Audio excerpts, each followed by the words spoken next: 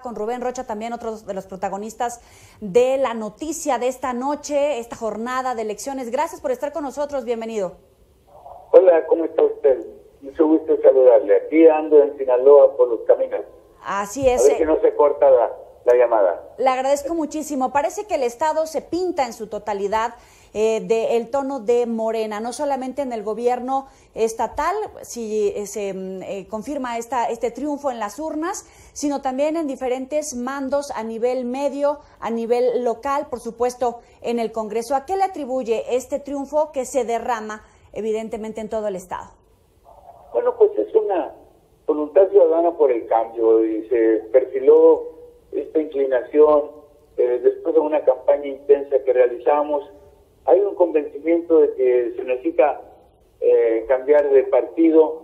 Eh, es eh, urgente que se atienda con mayor atingencia el conjunto de necesidades que tiene mucho tiempo padeciendo la población.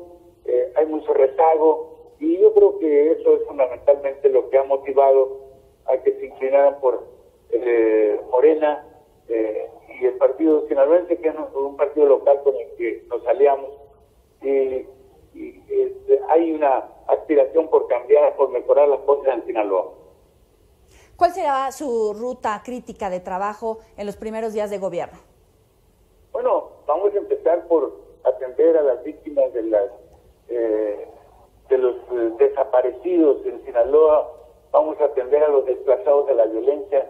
Me importa mucho este sentido humano que debemos darle el mensaje a la ciudadanía de que nos interesa la vida y, por tanto eh, importa este, acabar con la impunidad que hay alrededor de una serie de, delitos que generan eh, un desconcierto familiar y eh, vamos a empezar por ahí. Pero tenemos planeado hacer el diagnóstico completo, lo hemos hecho en buena parte en la campaña, recoger la problemática de la ciudadanía para efecto de eh, proyectar un desarrollo en Sinaloa que eh, genere riqueza, genere empleos, genere oportunidades y eh, poder atender a la población que menos tiene, abatir la, la pobreza, combatir la pobreza es uno de los principales propósitos que imprimiríamos a nuestro gobierno. Le preguntaba hace unos momentos a la candidata Indira Vizcaína cómo enfrentar la violencia en Colima cuando la política del gobierno federal, del presidente es abrazos, no balazos, evitar la guerra frontal contra el narcotráfico. Y evidentemente la pregunta también va en el estado de Sinaloa, eh, que tiene presencia de narcotráfico, que tiene eh, cifras que llegaron a preocupar en algún momento. ¿Cómo confrontar al narcotráfico, el crimen organizado, la violencia?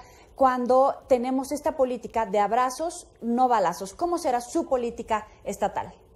Bueno, el tema de los abrazos a los que se refiere el presidente son los programas sociales, algo que eh, había desaparecido, por lo menos estaban inmersos en la corrupción, no había eh, ningún beneficio esto de apoyo de los gobiernos a la, a la población más necesitada. Y justamente cuando no hay apoyos ni se generan oportunidades para la eh, gente marginada, es cuando eh, se incuban eh, las causas que generan el delito.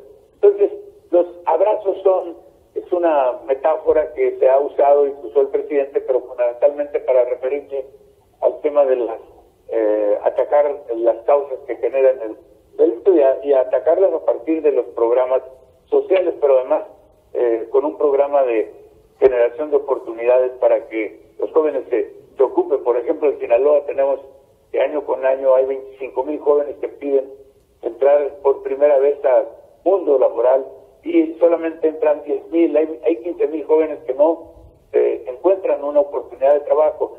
Esto es importante eh, visualizarlo para generar eh, las oportunidades que, ocupen a los jóvenes, no se no emigren pero además no se metan al crimen organizado. Eh, y por otro lado, necesitamos fortalecer la fuerza del Estado para perseguir el delito.